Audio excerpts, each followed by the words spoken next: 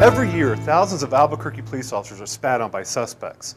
These officers run the risk of contracting HIV, hepatitis, and AIDS. Anytime there's exposure to bodily fluids, whether it be saliva or anything else, it's, it's obviously a concern.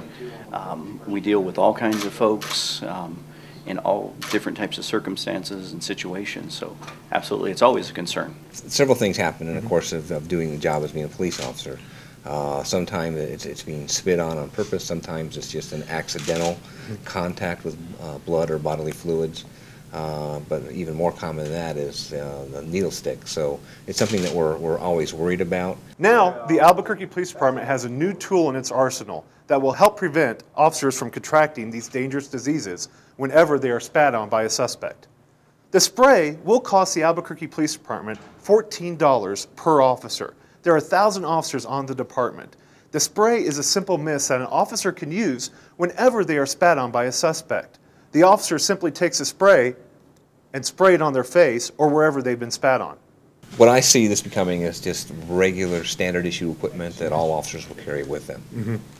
Not only can they use it on themselves if they're the victim, but if they're investigating some other type of crime and uh, a victim have bodily fluids splashed in their face, it's something we could also use to help uh, innocent third parties. Here in the state of New Mexico, we rank fourth in the number of assaults on police officers. These are just some of the officers who have lost their lives when they have been attacked by suspects.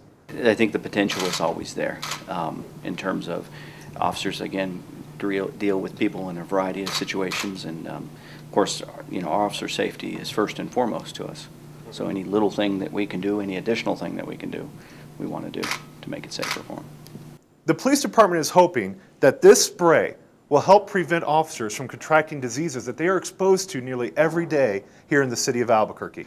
Great insurance policy for the officers and mm-hmm. nothing else. It really, because you feel helpless when you get mm-hmm. spit on in the face. Mm-hmm. And the first thing you want to do is, is get washed up and get cleaned up and get any type of medical treatment.